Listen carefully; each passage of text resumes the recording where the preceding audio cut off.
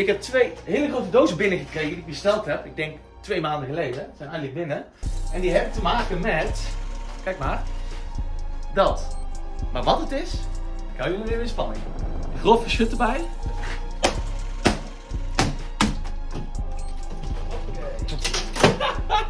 Nou, dan komen we heel aan. Ja. En dat is... Heel bouwpakket. Hebben we hier.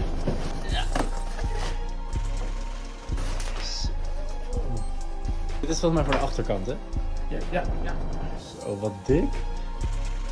Zag je hè? Dit is dik. Dit is ook iets... Dit is denk ik voor de voorkant.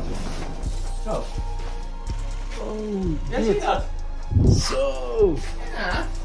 Ik denk dat dit voor echt gruwelijk staat. Ja. Met het idee van wat daarin zit.